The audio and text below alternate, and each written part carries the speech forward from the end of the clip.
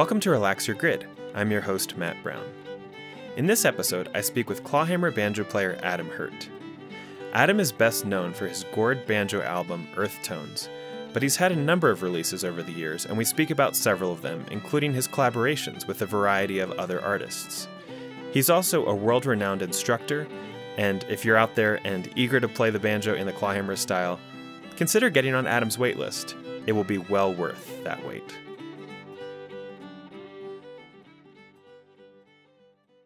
Adam Hurt, welcome to Relax Your Grid. Thank you, Matt Brown. Great to be here with you. I haven't seen you in quite a while. I I think the very last time was in Chicago at the Warbler. This is one of my favorite restaurants, right across from the Old Town School of Folk Music. Does that seem right to you? That's right, as far as I recall, too. That was in late 2018. Oh my goodness! And you were there with Megan Lynch Chowning you had conducted maybe a day of workshops at the Old Town School, and then we're celebrating with a delicious dinner. Does that also? That's exactly right. Okay. Yeah, we were on a mini Midwestern tour, and Chicago was sort of our turnaround point, and it was great to celebrate that milestone with you at the Warbler. Yeah, yeah. I I was listening to that record this morning with my son Benton, and I was struck by a, a number of things. It's it's a really nice duet. Although there is guitar. Who who's the guitar player on your Inside Out album with Megan? Megan's husband, Adam Chowning, she has all of these Adams in her life, she jokes about, uh, played six string guitar, and Tyler Andal played four string tenor guitar. Awesome. Okay. Because there is that, there are those moments where it sounds a little bit more like the, the contest style accompaniment, and that would probably be Tyler, um, who knows that so well. Right.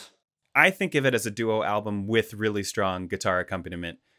And it was interesting to listen to that record because it was a reminder of your your skill in collaborating with other musicians as well as your ability to be like this very clear voiced banjo presence where like every single note is delivered with precision and attention and care what what led you and Megan to make that that record together.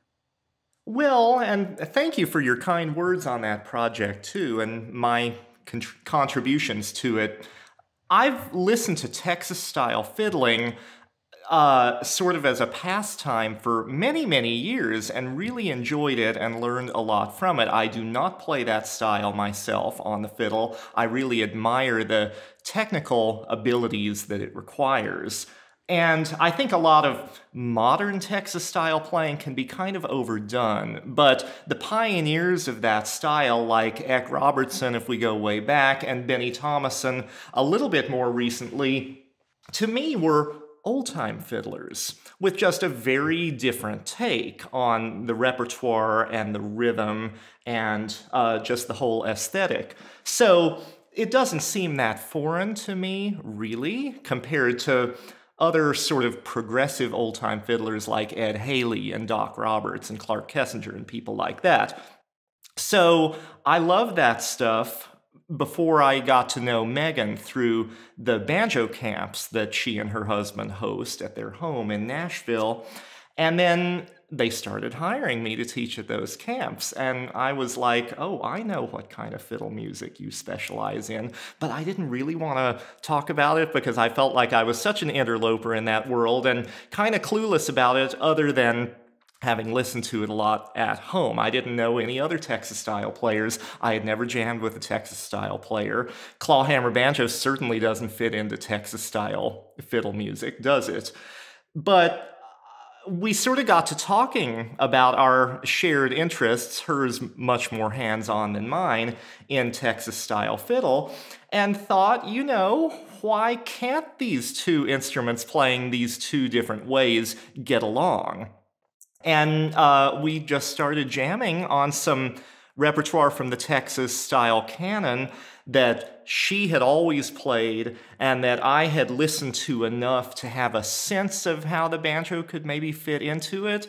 And the project just grew out of that experience, which was very random and very lighthearted and very fun. She tells everyone, she would say it better than I can reproduce here, that uh, we were trying to create a genre of music in that project that people didn't know they wanted.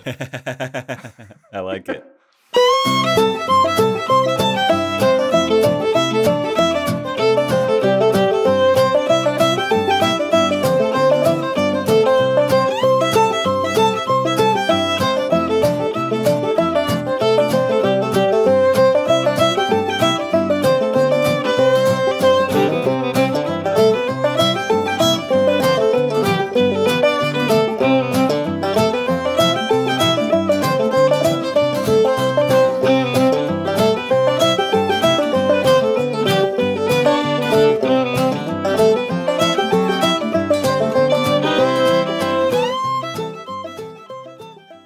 that's been on my mind because yesterday, uh, prior to taping this, I also listened straight through Earth Tones, your first gourd banjo album, and then I had this idea when when you and I agreed to to record this interview. I had this idea to listen to Back to the Earth, your follow up gourd banjo album, immediately after, like in one sitting, just to go gourd banjo, gourd banjo, and see see what the trajectory was. So yesterday I did the gourd banjo plunge, um, and and I want to talk to you about both of those projects. And then this morning we listened to Inside Out, where you're not on a gourd banjo. And one thing I noticed that I really am curious about because I've never asked you about this before is a question of tempo. A lot of Texas fiddling that I've seen and heard, whether at a contest itself or just in a jam, they don't tend to play very fast. I always think of it like in Irish music. Like you don't play a hornpipe very fast because the dancer has a lot of intricacy that they need to deliver with precision. And so Texas fid- fiddling, they don't tend to play crazy fast because they have a lot of variations and things that they want to fit in. And I've noticed about you in the 20 some years that we've known each other since meeting at Clifftop that I rarely hear you play really, really fast. And instead, you tend to pick these very gentle tempos and then you deliver at like this astonishing level of accuracy. Where does that come from? And when did you decide that for performance or for recording, it's okay to like not play at square dance speed, not play at maybe a, a crazy late night jam speed, but like find this tempo where you can get all the all this tone and all these all the nuance that maybe is just too too hard to achieve up to speed uh, up to dance speed well, you've hit on a lot of my thinking on this subject right there. So I'll basically agree with you, but go over the, the process that is in my mind too. A lot of what I like to do on the banjo is just that much harder to execute at a square dance tempo. And it doesn't even sound that good at a square dance tempo. At that sort of tempo, I'm going to want to leave out more details rather than cram them all in and have it all just sound like stream of consciousness eighth notes without the articulation necessary to really make music with all of those eighth notes. So that's part of it for me. I really am interested in tone production. I teach workshops on pulling the best tone you can from however your banjo is configured. That's really interesting to me, and I think it's something that a lot of clawhammer banjo players specifically just don't think about. They muck about with their setup, or they get different banjos, or whatever, and they're still not focused on the relationship between body and instrument, which is the biggest contributor to tone production in my estimation. And I'm just able to pull so much more tone of the sort that I like at more relaxed tempos. I think there's kind of an epidemic in old time music, and I don't know if it's following bluegrass music or what, but it's a contemporary thing of everything being played just a little bit too fast. And it's interesting to hear you reference dancers from the sort of hornpipe world. I hear a lot of people saying, well, it has to be fast enough for the dancers to do their thing. And I say, well, the dancers can't keep up if it's too fast either. We've got to strike a balance in there somewhere. I used to flatfoot a lot, and in that world, I learned that there's a range of tempos that works. So I skew toward the slower end of that range, but I'm always trying to establish a groove. I'm trying to establish a rhythmic sort of core for the music that keeps it feeling slow, that keeps it feeling draggy. And that's what I hear in a lot of the recordings of the great old players. Sure, there are occasional tempos that are just blazing fast. Occasional. But there are a whole lot more that are very moderate. Very moderate. And yet, they have this incredible feeling of drive. And I think a lot of modern listeners are mistaking that drive, that groove, that rhythmic core for speed. And it's just not the same thing. And I think that if these tunes, with all of their detail, are played too fast, they really begin to sound like the stereotype of old time music. All of these tunes just sound the same. Didn't you just play that one? When it's the details and the differences that I want to highlight and that I think are interesting. So, more relaxed tempos enable me to do more of that, I think. Was there a point early on when you were playing faster and then you decided to rein in or do you think you've always from the start liked the the slower tempos that you've described? I've rarely aimed to play very fast. Occasionally I have, and then other times it's just happened.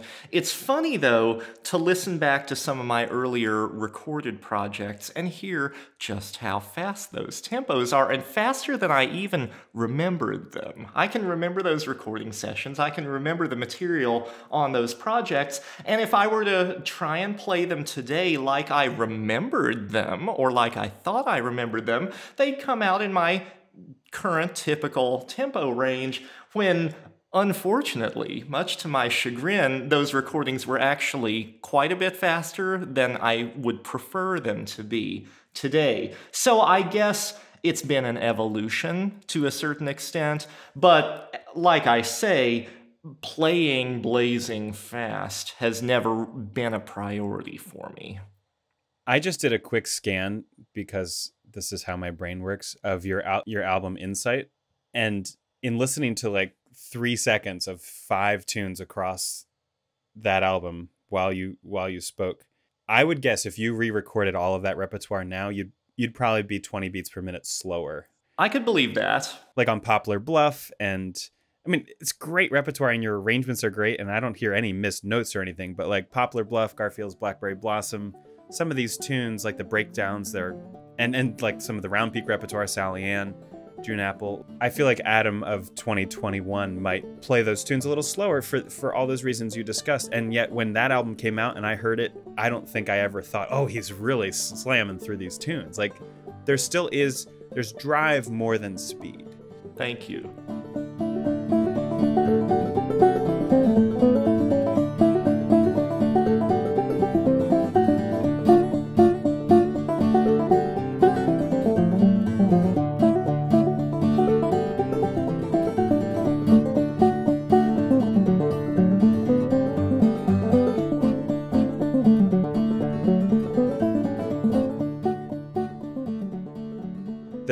This podcast, the podcast is called Relax Your Grid.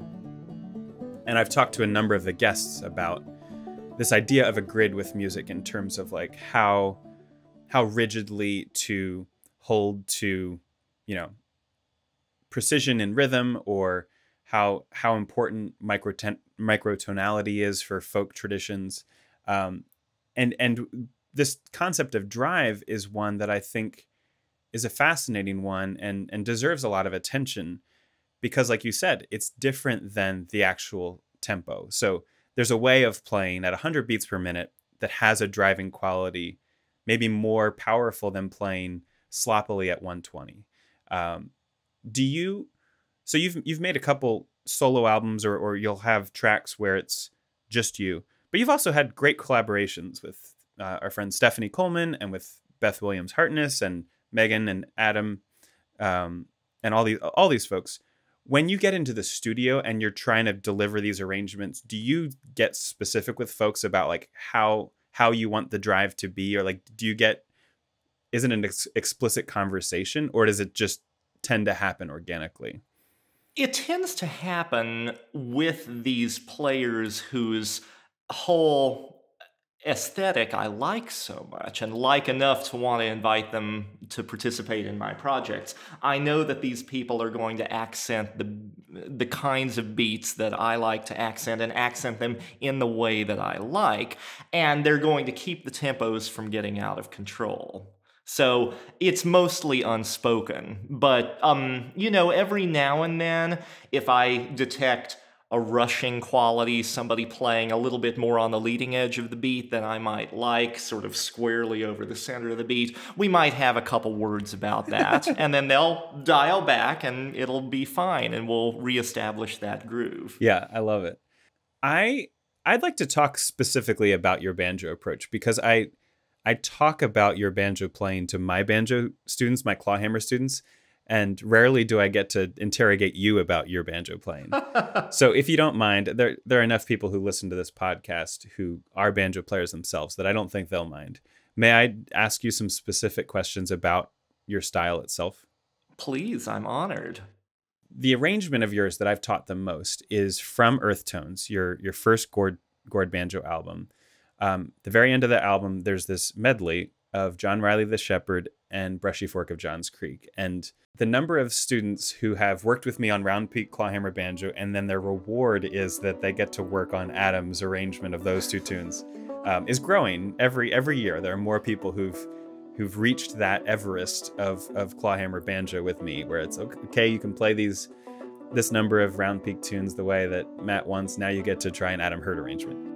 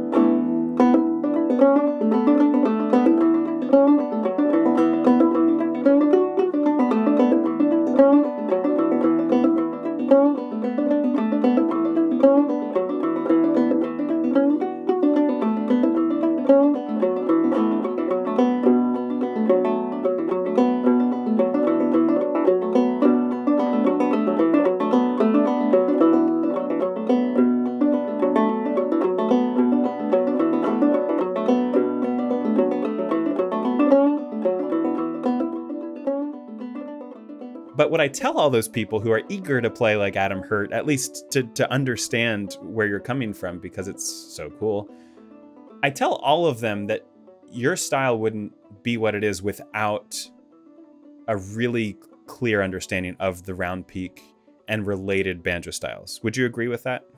Yes. Thank you. And so I would love for you to tell the listener, maybe at kind of the elevator pitch level but then also the banjo nerd level. What do you think distinguishes Round Peak Banjo? Okay. First of all, let me tell you how flattered I am that you teach my music to your students and that you think it's, you know, worth teaching. That really, really means a lot. And I don't think I've ever had this particular conversation with anyone else, whether another musician or another teacher who analyzes the details of the arrangements the way that you would, or anybody about the connection between round peak banjo and my arrangements of tunes that come from completely different traditions. So thank you for going there. Thank you for recognizing that there are common threads here. Okay, elevator pitch. That could be hard. Let's figure that the building is 50 stories tall or something, and then there will be some overlap with the uh, the intense banjo geek level. Round Peak Banjo to me is sort of a composite of the ideas expressed by Tommy Jarrell, Kyle Creed, and Fred Cockerham. On the banjo. They all played great fiddle as well, but I'm focused on banjo here. Now, they all played in different ways, but it's the commonalities among those three players that make up what I think most of us today mean when we talk about round peak banjo. And that is a relative absence of brush strokes, multi-string strumming. Um, it's not that every space is filled with melody. No, there's still a lot of space in the music, but that space tends to be filled in with open individual strings, sort of treated as secondary drones to the fifth string, where other clawhammer players might brush a bunch of open strings or fret a complete chord, maybe. Partial slides all over the place are a real hallmark of this style, and maybe partial slides is a weird way to describe it, but I think of these slides as not connecting steps on the scale necessarily, but going from a pitch on the major scale to a blue note between it and the next pitch on that major scale, or sometimes starting on the blue note and then sliding into the major scale pitch. And to me, these are carryovers from the use of fretless banjos. And even though Tommy and Kyle recorded a certain amount of their work, Kyle especially, on the fretted banjo, they're doing all of these funny slides in ways that I think purely fretted banjo players never would have thought to do. Uh, so, lack of brushes, abundance of short slides, lots of uh, use of the Galax lick, the so called Galax lick, which is a little bit of a misnomer because the Galax banjo style is quite a different thing from the round peak banjo style, but that's the way that the term uh, went into the lexicon thanks to some early banjo instructional book authors, I believe. The Galax lick is kind of a, a raking motion done by the striking finger across at least strings two and one, and then resolving to string five on a beat on a numbered beat. In the in Brad Leftwich's book, Round Peak Style Clawhammer Banjo, he refers to that same technique as a roll. A roll. I like that a whole lot because it really has that sound. It's an arpeggiated sound, and usually the fifth string is the highest pitch in the maneuver. Not always, but usually. So we're climbing up to that pitch and focusing on that pitch in a way that we rarely do in clawhammer. I mean, so often that fifth string is just the heartbeat of the style and kind of an afterthought, not a focal point in the tune. But the Galax lick or the roll uh, puts all of the emphasis on that string and that pitch. I guess I would say that those three things for me are really the hallmarks. I've got a fourth. I agree with all of that. The fourth is the alternate string pull off.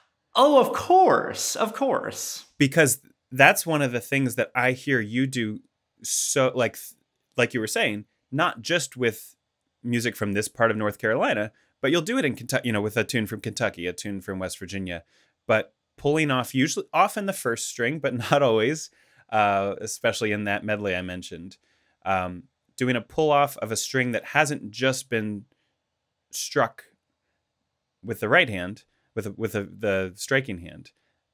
That seems like the other piece of the puzzle that of, of techniques that you gathered and and have taken throughout the repertoire. Of course, yes. Thank you for that. All right, we've bypassed elevator pitch stage. We're in full blown banjo geek stage. So, um, lack of brushes, short slides, Galax lick rolls, and absolutely alternate string pull offs. And the alternate string pull off showed up in the early approaches to so called melodic clawhammer banjo.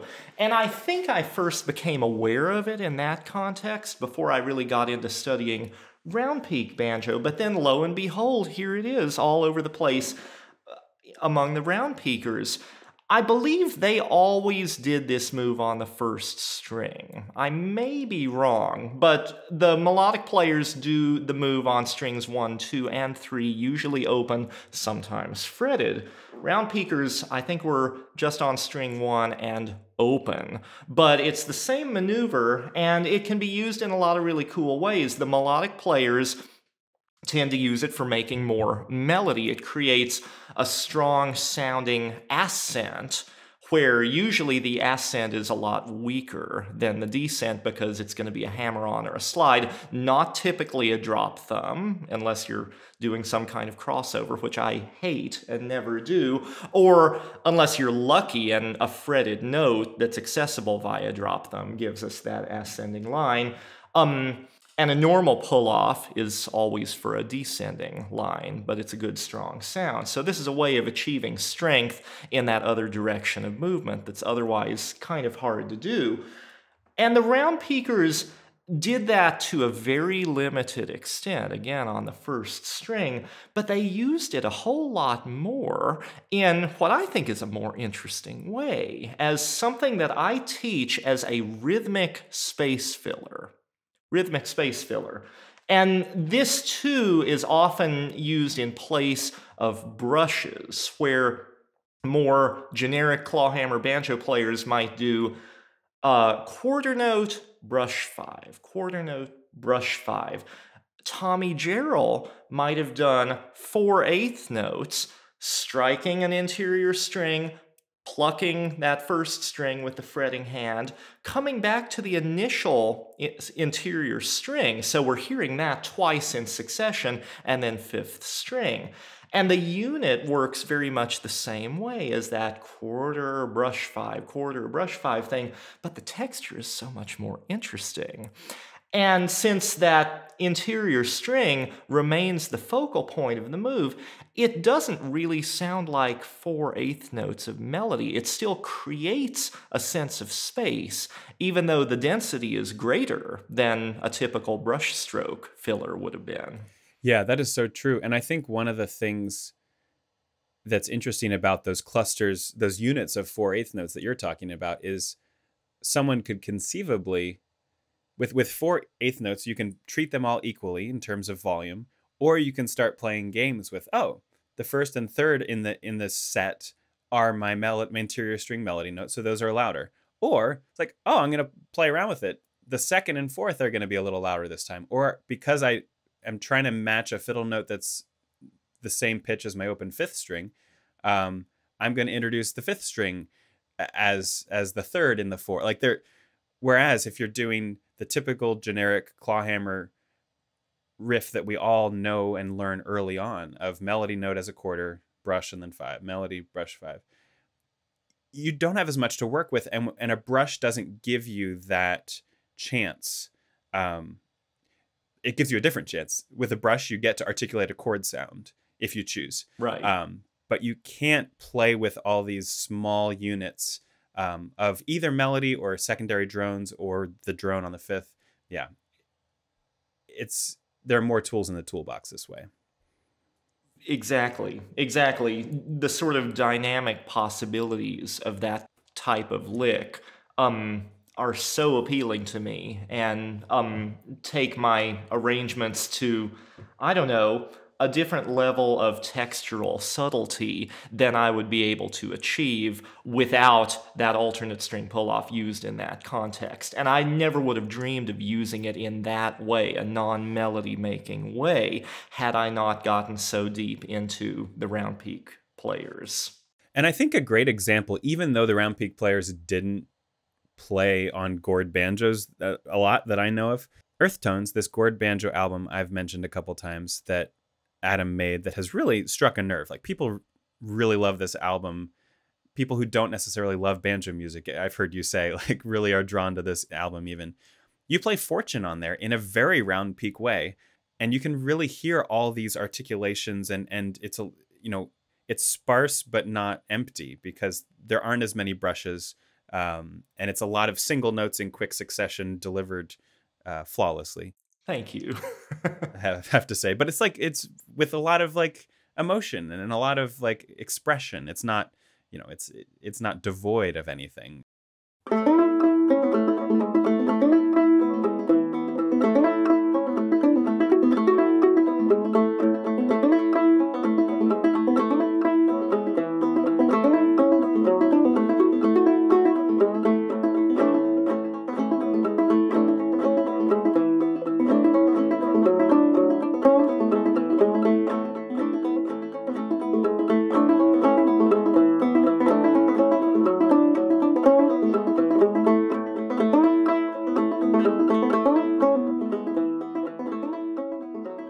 Fortune rendition in particular, I feel like is a nice reminder. And and I think you including fortune on earth tones was one of my signals that like, oh, it really is the round peak toolbox that's allowing Adam to play these Kentucky tunes or, or these others as well, or, or these, you know, in the album album with Megan that we talked about first.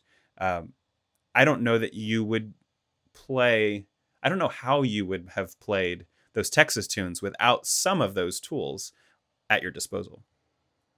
That's exactly right uh, getting to know the round peak style years ago, I'm still getting to know it in different ways, has really shaped my overall style. I mean, I don't consider myself a round peak player. I'm a banjo player. I'm a clawhammer banjo player. We don't need tighter labels than that, really, I don't think. But people ask me why I think my melodic clawhammer approach sounds different from, say, Ken Perlman's melodic approach or Howie Bursen's melodic approach or other players of that ilk. And they're great players who have figured out really clever things of matching the fiddle melody's contours. But to my knowledge, they didn't study specific Southern clawhammer styles, round peak or otherwise. They learned how the clawhammer hand worked and then moved straight into the kind of repertoire and arrangements they wanted to play with the tools that they had available to them. But I think the round peak toolkit is like a, a separate but parallel toolkit to the standard clawhammer toolkit. It's this whole different set of moves that can create a very different style and sound, but can complement the moves and the style and the sound of the conventional clawhammer toolkit in a way that really works for me, but that I haven't heard too many other players exploring. It's like people play round peak repertoire in a round peak sort of way, or they play other repertoire in these other ways. And I'm not sure that it has to be kept that separate. Yeah, I agree. I I start all my Clawhammer students with Brad Leftwich's aforementioned book because I think it's it's a nice way. There's some nice biographical information. There's a map of the region great arrangements, little stories, and the and the song lyrics all packaged into one affordable banjo book. It's the only banjo book I teach out of, um, and we don't stay there, but that's where we start. And I tell all these students that I'm not trying to make any of them into round peak banjo players. I just want them to know some of this repertoire, which is great banjo music, and to have this toolbox that you and I are describing. Thank you. You're doing a great service to your banjo community. Well, I appreciate it. And I appreciate that you keep sending students my way as well. So happy to do it. And, you know, to listeners out there who aren't already taking banjo lessons from you or from me or anyone else who loves to teach round peak banjo, that Brad Leftwich book is a must have for any serious student of clawhammer banjo. And I think it does an amazingly comprehensive job for the kind of resource that it is in teaching the aesthetic of this special style. Yeah, and I'll put a link to it in the show notes. So if anyone wants to get a copy, you can. Great. Now, going back to the Adam Hurt style of banjo, we talked about the round peak element of your toolbox, but you're a person in your 30s from Minnesota, and round peak is not the entirety of what you do on the banjo. You're also adept at using a variety of tunings that aren't the standard G tuning, double C tuning how how do you think about when you're programming a piece for yourself? How do you go about deciding, oh, this is going to work in this tuning? Is it is it a matter of looking for as many melody notes that are going to be on open strings rather than fretted, even though I know you're very adept at finding the frets up and down the neck? Where how do what's your process for that? Well, I do love the sound of a good open string. So that's part of the process, but I don't know that that's like the guiding force behind my choice of a certain tuning for a certain tune. If I'm planning to arrange this to play with a fiddler, I try to not change the key of the piece out of deference to the fiddler. occasionally I've done that when I know that the key change I'm making is something that the fiddler can deal with. I play the fiddle as well, so I have a reasonable sense of what will and won't work well on that instrument and sound good on that instrument. But if I'm working on a piece with sort of solo banjo performance or recording or whatever in mind, or a banjo led ensemble performance or recording in mind, then I throw the key out the window and I focus on uh, the range of the melody. Where's the high point? Where's the low point? And uh, which tuning's range best corresponds to those points? I often find that the double D or double C tuning is a better match for the range of tunes that fiddlers play in A than is the open A tuning on the banjo. And a lot of those tunes are not going to sound good or play well at all on the fiddle in D, and heaven forbid playing them in C. But if that's not my point, um, I can often maintain the original contours of the fiddle melody better in the double D style tuning, which has sort of two octaves right there at my disposal without having to go way up into the stratosphere. And that way I'm not having to jump octaves from phrase to phrase the way I would have to do in the open A tuning if I wanted to play all of the notes in the correct key. And that's going to sound pretty strange without a fiddler playing alongside me and maintaining the correct shape of the tune. So that's a lot of it for me. Um, to the extent that I want to state or suggest chords, and if I'm playing in a more round peak influenced way, it's more about suggesting them than stating them certain chord voicings in certain tunings are going to be more my cup of tea for a particular tune than the chord voicings correspondingly in uh, other tunings. So I guess it would be those three things in the order of tune range, chord voicings, and open strings that I'd be thinking about.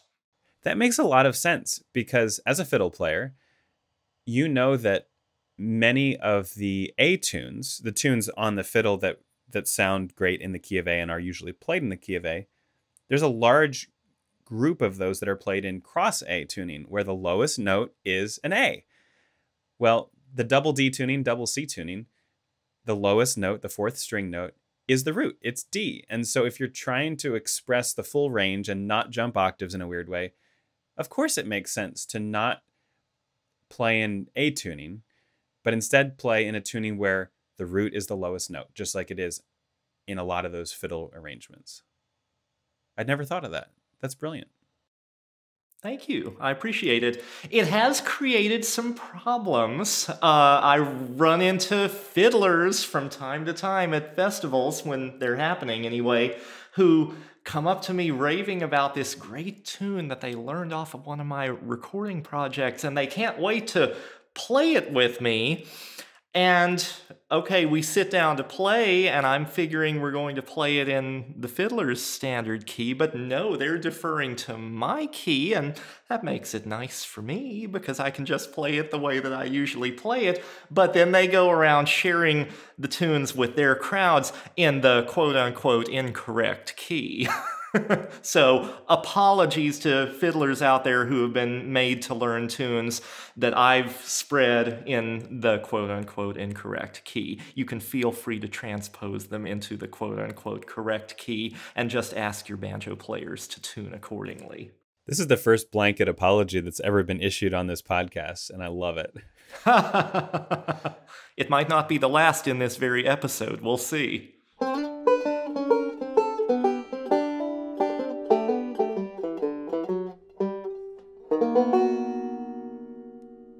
So, talking about your recordings once more, I do want to return to your newest release, Back to the Earth.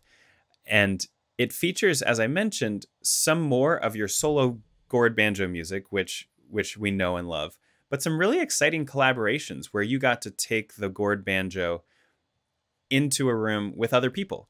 And those other people include Brittany Haas, Paul Kowert, and Jordan Tice from formerly from Haas Kowert Tice, now from the larger band Hawktail, um, and some others. And I, I'd like to talk to you just a little bit about those collaborations, knowing that you've also spoken on the Picky Fingers podcast about that album in length. So people should listen to your episode to get the full rundown. Thank you. I remember getting a text from my friend Tim Riddell, who was, I think, in the front row at the station in the night that you joined Hawktail um, to play a bunch of your repertoire that they had learned, and that that collaboration live led to you recording with them later. Um, what was it like to take the gourd banjo and and figuring out these arrangements with these very sensitive musicians where the banjo is still front and center, but there are all these lovely textures around and underneath? Well, it was just an unbelievable experience, both back in 2017 at the Station Inn, and then more recently when we were working up the couple of collaborations as a quartet for the recording project. I had known Brittany, Jordan, and Paul for a few years, sort of peripherally, and couldn't have been more humbled when they reached out to me to tell me that they had this monthly residency at the Station Inn. They like to bring in a different guest to join them every time, and they'd love to bring me in to play Earth Tones repertoire. And I was thinking, how do I belong in this collection of musicians, for one thing? And for another thing, how is this going to work? I had played the gourd banjo very limitedly with other musicians before then. Very limitedly, like with one other musician or with two other musicians, and that was it. And generally not on material that I had recorded on Earth Tones. I sort of thought of that for no particular reason as solo repertoire, and if I was trying to combine gourd banjo with other sounds, that was a different repertoire for no particular reason. That's just where I was. But I thought, well, if anybody can figure out a nice way to make a band sound work with gourd banjo in the sort of lead, it's going to be those three players. They have unbelievable taste, they have unbelievable abilities on their instruments. It's going to work. I'm just going to be totally nervous and again wondering why am I here? But they couldn't have been nicer, so I accepted their invitation uh, with much gratitude we had a day of rehearsal. They had learned all the stuff from Earth Tones. It was hilarious. And they like knew not just the basic repertoire, but my variations, my arrangements inside and out better than I knew them at that time, seven years after I had recorded Earth Tones. And the gig was kind of magical. And the sound of that quartet just stuck with me. I wasn't even thinking at that point of making another gourd banjo album, but as my mind sort of shifted in that direction, I thought, well, how can I make this not sound just like another earth tone, solo gourd banjo with a different collection of tunes? And I thought, well, why not collaborate with some of my favorite musicians? And why not start with Brittany, Paul, and Jordan because they have such a special sound and they just brought that old music to life for me in completely new ways. So I reached out and floated the, the idea, and I couldn't have been happier when they agreed to participate.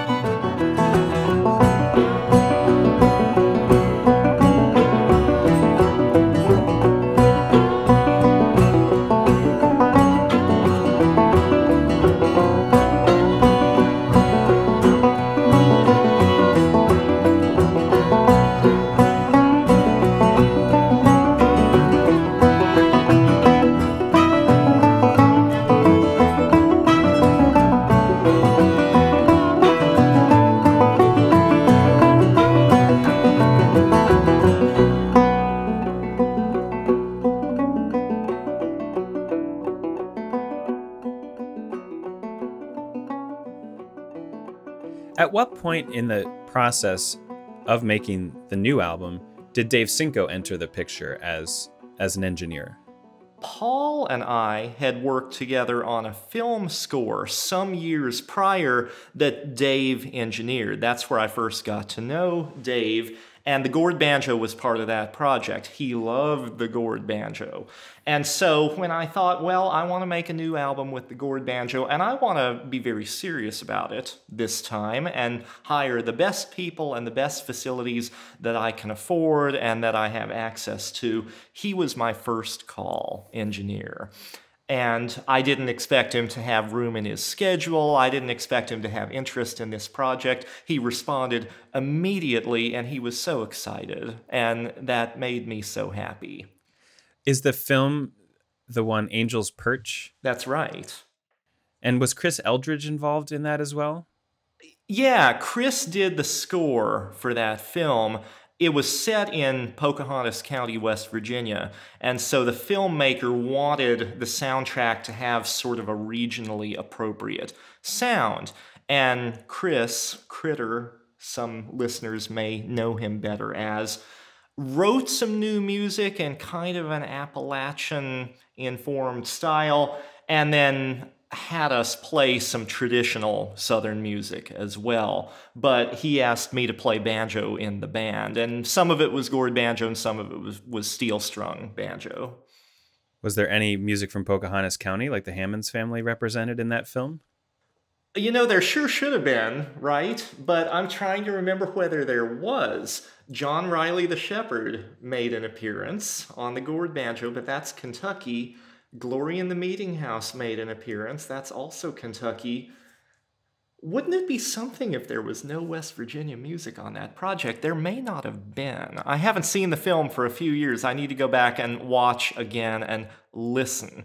More of the music was contemporary stuff from Critter's mind, um, but I feel like there must have been something from the Hammons family in there, don't you think? Yeah. The one time I've performed in Pocahontas County, uh, I, I did get to play Ed Hammond's tune at the Opera House. Wow. Marlinton, West Virginia, I think might be. That's right. The, the county uh-huh. seat. And uh, that was really special to just know that the Hammons family, like, this is where they were. And and to get to play some of that music there. Yeah. I know when when Greg Reish and I decided to make our duo record, the only the person at the top of our list to engineer it was also Dave Sinko. And Dave and I had visited socially, but had never worked together. And when I reached out to him, I remember he was very responsive. Like I think I got in touch with him right away. And he didn't say yes right away, but he started asking questions immediately about like, well, what are you envisioning? Like what kind of space? What kind of microphone? And it very quickly turned into a yes, which I was I had the same I was coming from the same place that you described, where I didn't really expect him to say yes. I didn't expect him to have time. I didn't expect to be able to afford him.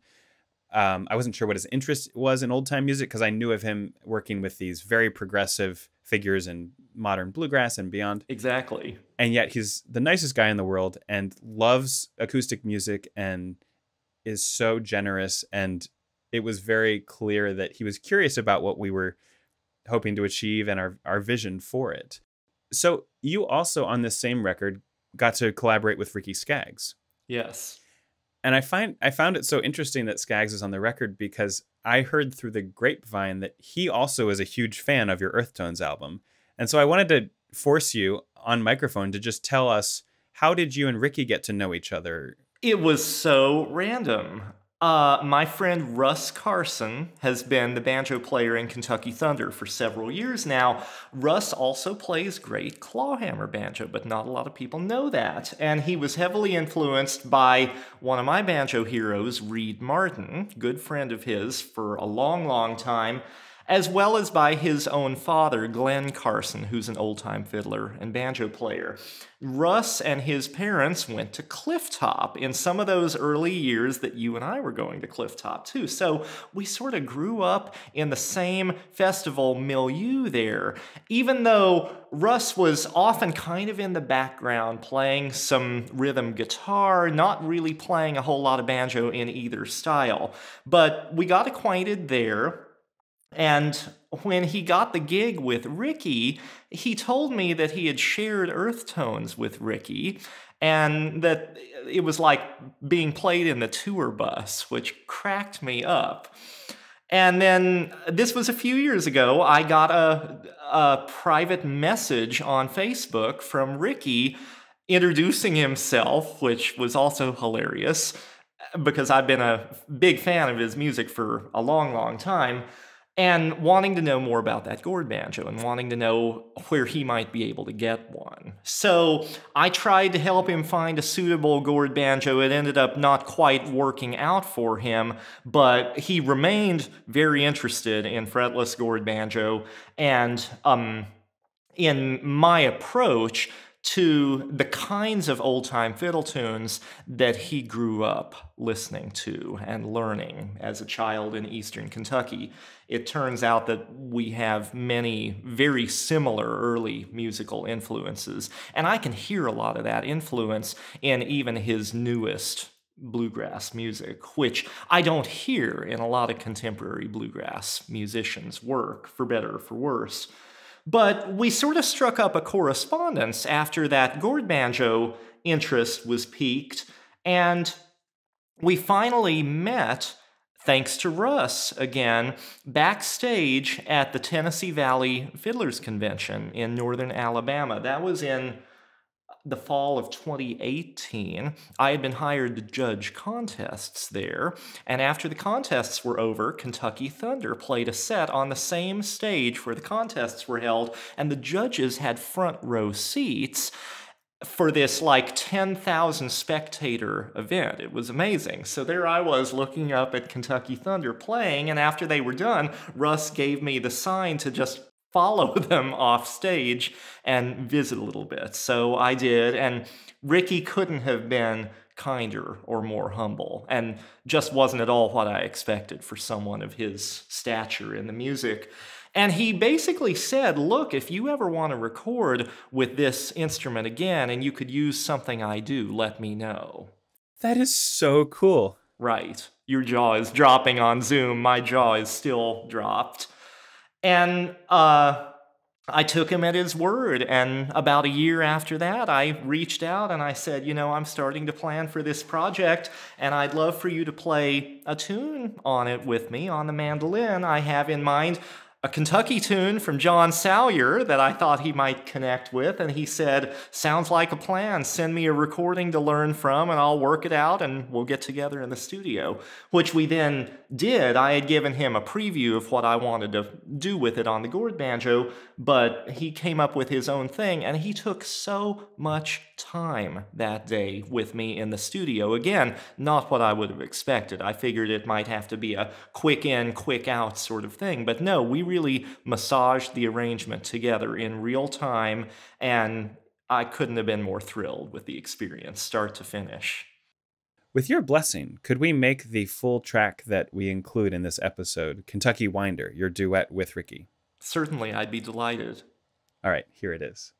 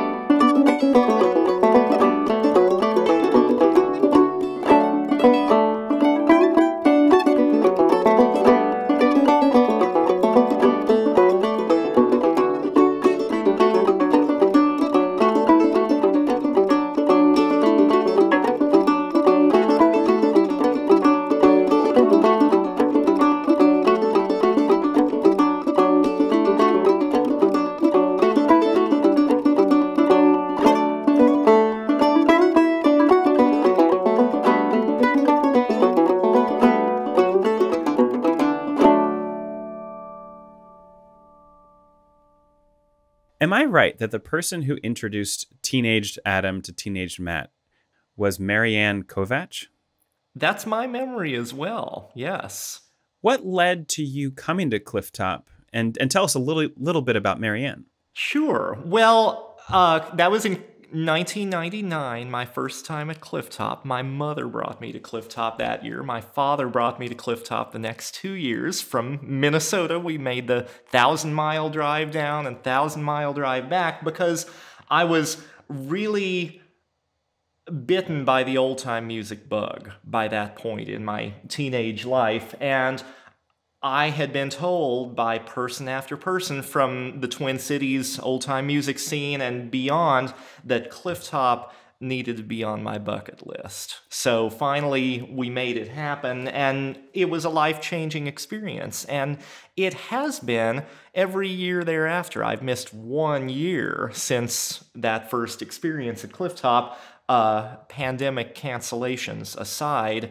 And I just can't wait to get back there. I don't think I would ever take a gig during that week, and I would hope no other life event would get in the way. It feels like all of my most important personal connections and a lot of my sort of musical epiphanies can be traced back in some way to Clifftop, and I'm so grateful for it. But that was a very fortuitous encounter from my perspective because of the ways that our lives have continued to intersect all these years later. Marianne Kovacs, who introduced us, was my first banjo teacher. She was living in Minneapolis at the time, although as of 99, she had moved to North Carolina for closer access to the music, and she's stayed in the South ever since. And I sort of followed in her footsteps in many ways just a few years thereafter. But I guess, did she know you because of her Pennsylvania connections from way back? I don't remember. I don't remember how I knew Marianne maybe it was meeting her just at Clifftop or yeah, I can't recall. But but I I can picture that day that she made a point that we would that you and I would meet. Like it was she had a yeah, a goal that you and I would meet each other cuz at that time as far as I recall, the only musicians our age who were playing old time music at Clifftop were you, me, and Stephanie Coleman. Exactly. There just weren't many of us, and that's changed for the better since then. But there really weren't back then. And at home in Minnesota, there wasn't anybody my age who played old time music. There were some young people who played bluegrass, and I overlapped with them to a certain extent, but this was a brand new experience, and I was so excited to meet someone of like mind who was also an age group peer. So, thank you for being so friendly and welcoming to me when Marianne made the introduction. You're welcome, and, and thank you in return because I was desperate. Like, I, desperate's maybe the wrong word, but I was so eager to find people my age who played this music at that time. And as you know now, there there are many many folks, including the children of some of the people you and I were playing with at the time, who then went on to pick up the instruments themselves and are very fine musicians now. In that era, in the late '90s, they were they wanted nothing to do with the music. They wanted to run around and just be only focus on being kids and having fun in the woods. Um, I kind of split my time at Clifftop between that and trying to play some fiddle tunes. And then it was such a delight to meet you and Stephanie those first couple years and know that oh maybe maybe it's not just my parents' age people who like this thing that I like too. Right, right.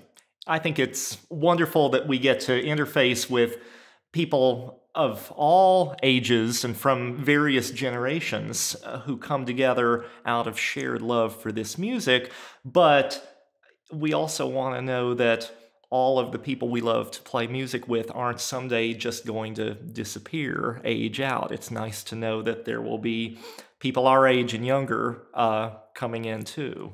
It's so true. Before we go, I just want to make take a, a minute speaking of the generations to come and, and just the the sharing of the music across the generations. I want to take a minute to encourage folks to visit your website regularly to check out which camps you'll be teaching at, workshops, all that sort of thing. I've known I know you've given some online workshops during the pandemic.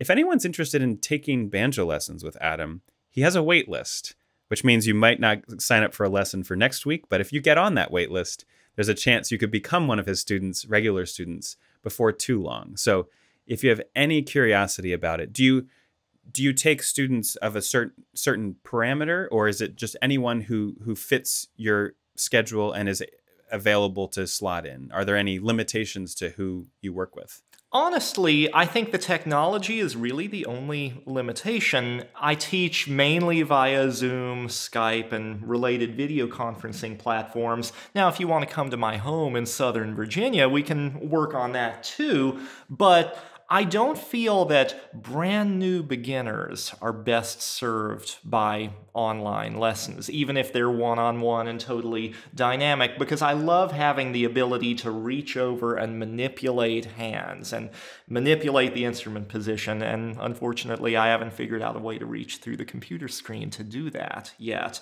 But that said, I have worked from scratch with a few highly motivated brand new players who simply didn't have access to in person instruction in their area and still wanted to learn. And they've done fine. It's just a little trickier and a little slower going than if they had had that jump start in person.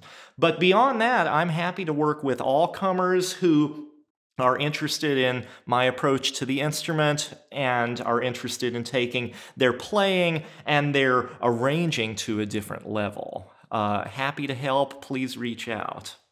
That's so great. Well, the last thing I want to want to plug for everyone is you've heard clips of Adam's music in this episode. You've heard an entire track, and you'll hear a little bit more as we go out.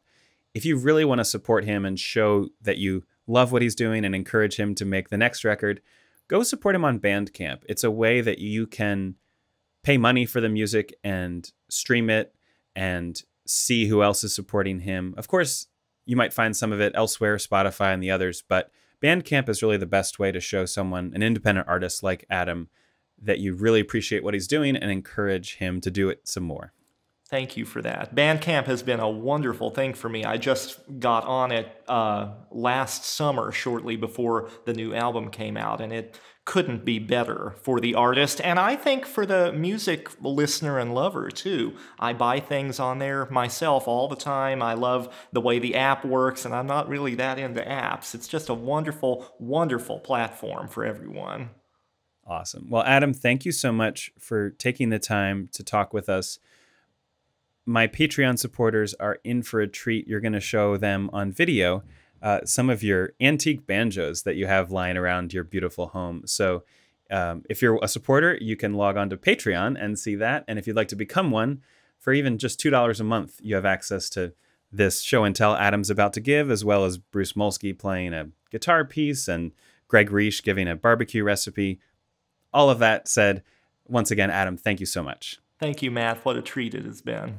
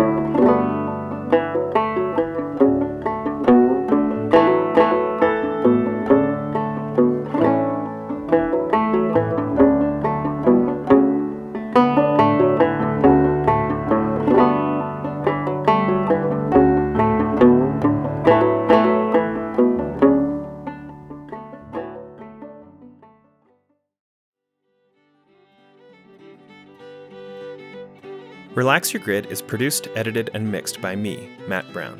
Tim Brown provides post production assistance. Otto Allard is my designer. Tune in next time for my interview with cellist Natalie Haas. And until then, relax your grid.